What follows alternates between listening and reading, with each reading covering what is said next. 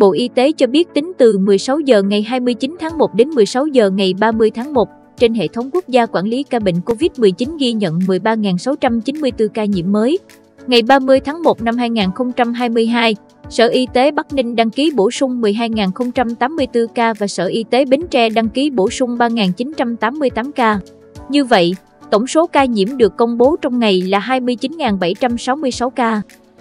Thông tin về 29.766 ca vừa được công bố như sau, 38 ca nhập cảnh,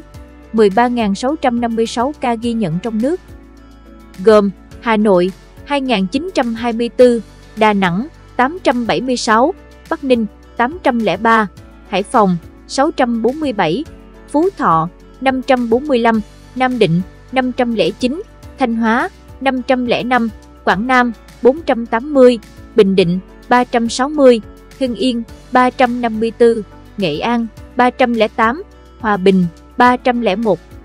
Hải Dương 277, Bắc Giang 269, Vĩnh Phúc 261, Thái Bình 257, Quảng Ninh 235, Bình Phước 228, Thừa Thiên Huế 224,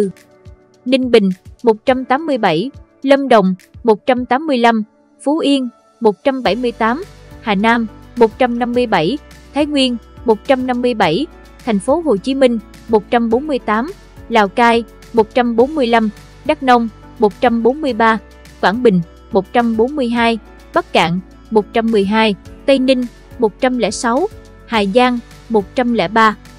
Sơn La 97, Quảng Trị 97, Đắk Lắk 93, Bến Tre 92, Cà Mau 92, Tuyên Quang 90, Kiên Giang 85, Quảng Ngãi 82, Yên Bái 82, Khánh Hòa 72, Bình Thuận 64, Bà Rịa Vũng Tàu 58,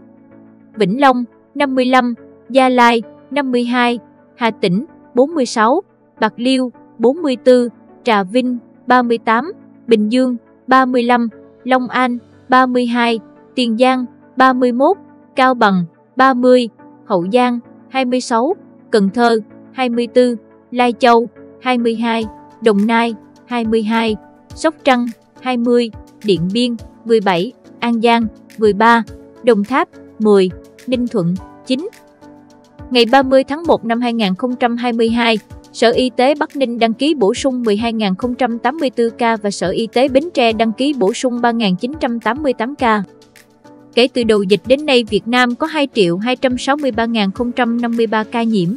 Đến nay, tại Việt Nam đã ghi nhận 184 ca mắc COVID-19 do biến thể Omicron.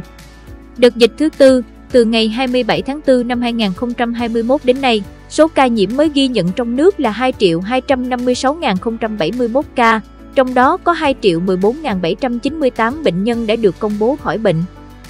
Các địa phương ghi nhận số nhiễm tích lũy cao trong đợt dịch này, thành phố Hồ Chí Minh 513.726, Bình Dương 292.858, Hà Nội 128.790, Đồng Nai 99.881, Tây Ninh 88.068.